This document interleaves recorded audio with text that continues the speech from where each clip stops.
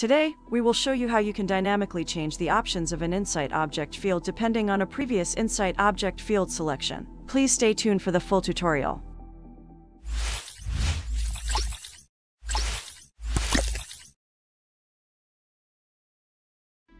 Welcome to Eli Solutions for a new Jira tutorial. Today we'll be creating Insight Object custom fields that are linked to each other and display them in the portal. When a business unit field is selected in the portal, we will only display the associated programs. Right now we are showing you the Portfolio Project Management Object Schema, which contains a collection of business unit objects and their associated programs. You can see that we have six different business units at the parent level. In the program object you can see various attributes such as the name, the business unit that the program is linked to, and its status. We'll focus on the business unit attribute. The Business Performance Management object is tied to the Cogeco Communications Inc. business unit. If we go to the BZL program, the object is tied to the Breezeline business unit.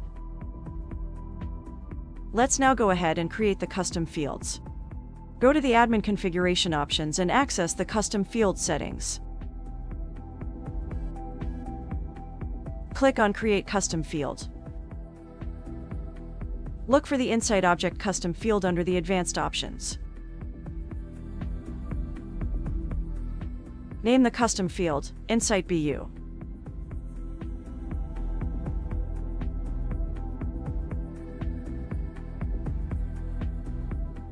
Let's add the custom field to the demo service desk screens.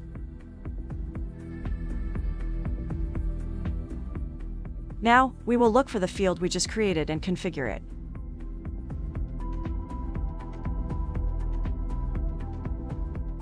Click on the ellipses and select Contexts and Default Value.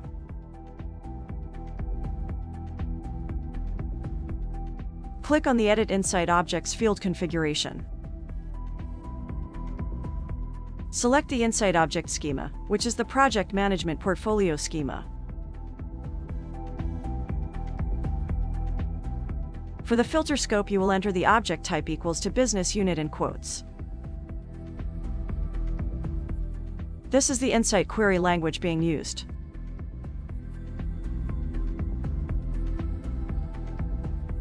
For the attribute filtering options we will select label, which is the name of the object. Save the configuration. Ensure you remember the custom field ID number as we will use it to link it to the child object. In this case it's 10508. Let's now create the child insight object custom field.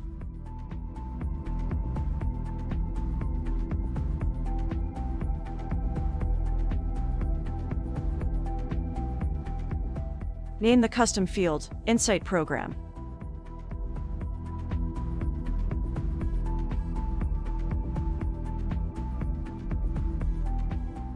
We will add the field to the demo service desk screens.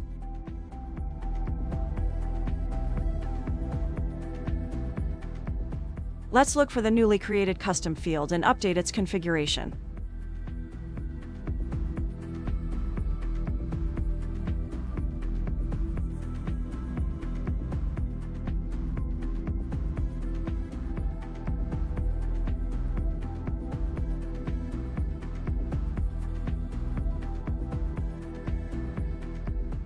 For the object schema, it will be the same project portfolio management.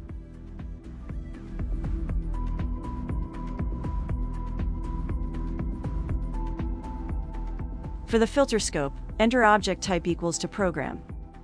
The key is to set the filter issue scope. In here we enter the business unit attribute and the placeholder custom field ID that holds the business unit information. Enter the dollar sign and in curly brackets the custom field number of the business unit. In our example, it would be custom field ID 10508. Now when a specific business unit is selected, only the associated programs will be displayed. For the attribute filtering, we will select Label. Save the configuration. Let's now go back to the demo service desk and apply the new custom fields.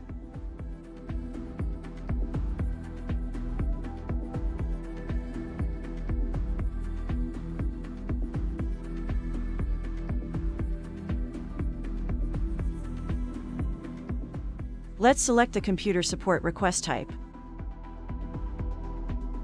Select the Request Form tab and click on the Add a Field button. Select the two Insight fields that we just created.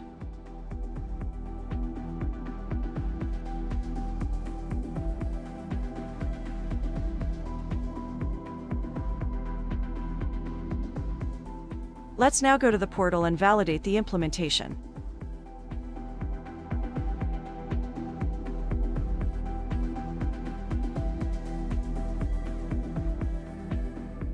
From the portal go to General Requests, select Computer Support and populate the required fields.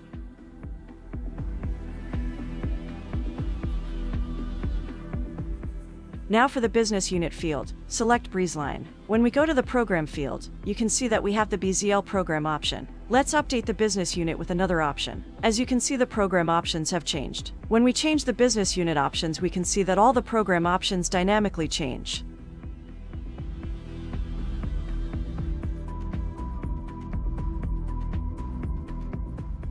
Let's submit the ticket now. As you can see the ticket is created and the Insight fields are correctly populated. And that's how you can dynamically link Insight Object custom fields. We hope you enjoyed this video. Please subscribe if you would like to be notified of new Jira tutorials.